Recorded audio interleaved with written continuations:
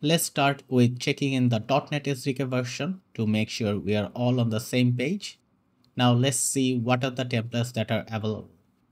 We are gonna use this Blazor template. To create an app using this template, I'm gonna type in .NET New Blazor. The output folder name should be flashcards and we're gonna choose the empty template. Clear up the terminal. Let's go to this directory and open this up in VS Code. We have a program.cs file in here. So all the services will be registered in here. And if you are prompt to this, just say yes. Now let's go to this www root folder and app.css. This is the global CSS file. And under the components folder, we have app.razor where this is referenced. If you go to the pages folder, under the home.razor file, we have an h1 tag. I'm gonna type in flashcards in here. And let's open up the terminal of VS Code and type in .NET run to build and run the project. Control click on this link and it will open up the browser and show you the changes.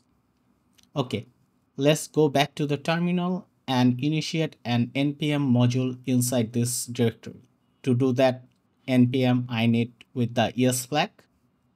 And then we are gonna install some packages which are Tailwind CSS, Post CSS, Auto Prefixer, and Post CSS CLI. It will take some time to install all the packages. So let me go back to VS Code and create a file named postcss.config.js we are gonna export a module from this file so module.export and it will exports an object with a key of plugin. And we are gonna say we want to export tailwind css and auto prefixer okay. Let's go back to the terminal. And we have to initiate tailwind css in this project. So npx tailwind css init and it will create a file named tailwind.config.js. The files that Tailwind needs to track are Razor, CSHTML and HTML. So add this template path in here. It will start with an dot, then slash double asterisk slash single asterisk dot razor comma html comma cs html. Now we need to import the tailwind directives in this app.css file. So the first one will be tailwind base, tailwind components, and tailwind utilities.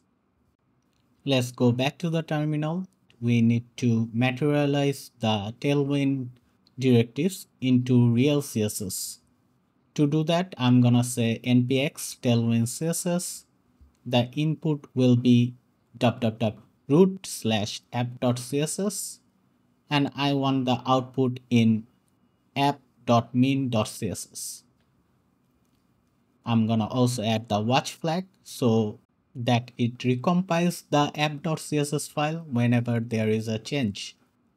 Coming back to VS Code, you can see we have a new app.min.css file and I want to reference this min.css file in app.razor.